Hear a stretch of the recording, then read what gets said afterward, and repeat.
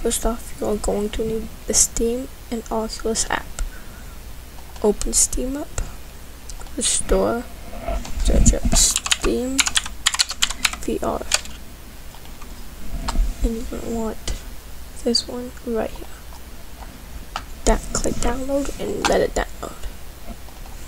You will also need Gorilla Tag on Steam.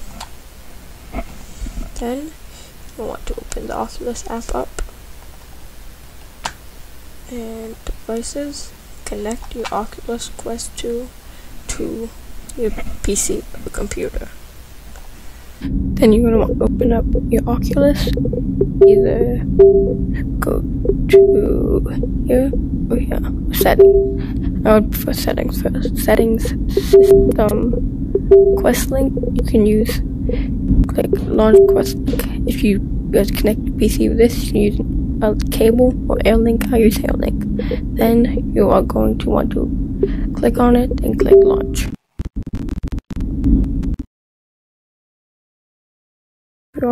We'll show two versions of Gorilla Tag. This version Steam version, the other version is regular version. You're going to want to click Steam VR once you have it open on your computer.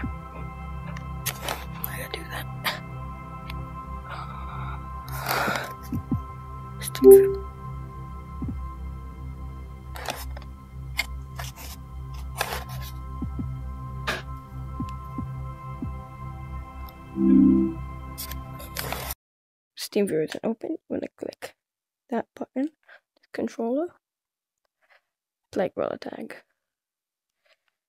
But first, click the Oculus button, library, and click this version of Gorilla Tag.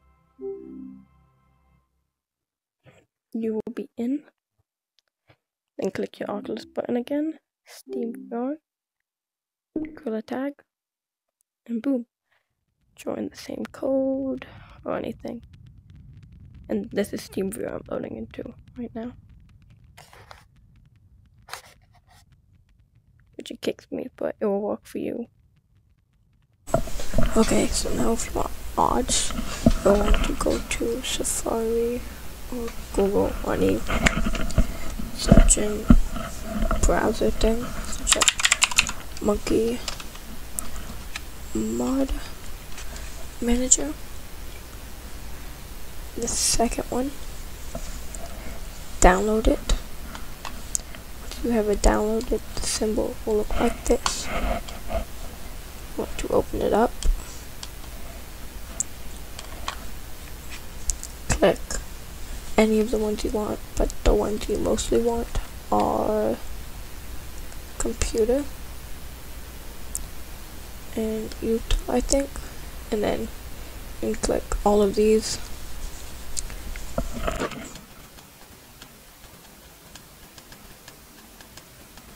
All of these click install slash update.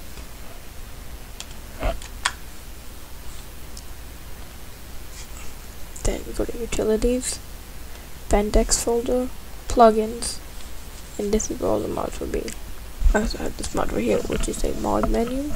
The way to do that is to switch it up.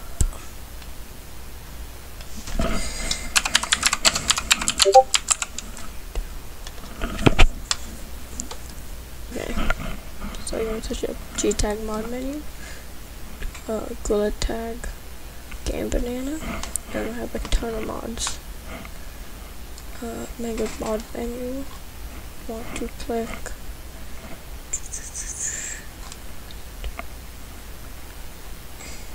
you need to click both of these. Manual download so I'm to go with. Download. It'll be here. The files. And want to open the BepInEx folder again. And split the screen. The mod menu should be on the side right here and your downloads all you have to do is drag it over close everything and boom you should be good